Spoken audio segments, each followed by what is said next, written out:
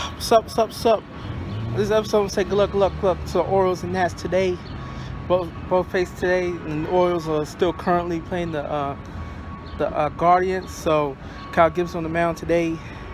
So alongside with second base is uh, Adam Frazier. Catcher is uh, Adley Rutschman. Right field, uh, Andy Santander. Austin Hays in center field. Uh, designated hitter Gunnar Henderson. First base, uh, Ryan Mountcastle. Um, third base, Ramon Left field, uh, Terry. And shortstop, um, Jorge Mateo. So right now, they're currently, I think, seven to nothing against the Guardians. I think I think leads seven to nothing. So as I record this, so may change, yo, as I upload this. So yeah, they're currently up seven to nothing, and so so hopefully they keep it up, get the get the W, man. And guess I'll move on to the Nats, man. Facing the Dodgers, then Camden Yards by the way in Baltimore for the Orioles against the uh, Cleveland Guardians. So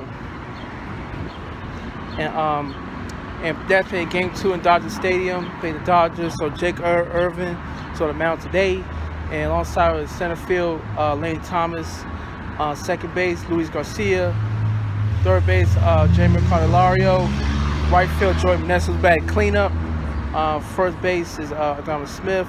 Designated hitter, Corey Dickerson. Been red high, has, uh, I think, as, as you know, I think 1,000 career hit. Or probably more than that. I don't know. For, uh, so, catcher is uh, Reeves.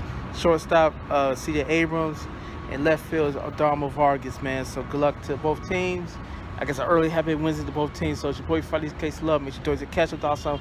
What's it to be? All right, go O's, go Nats. Yeah.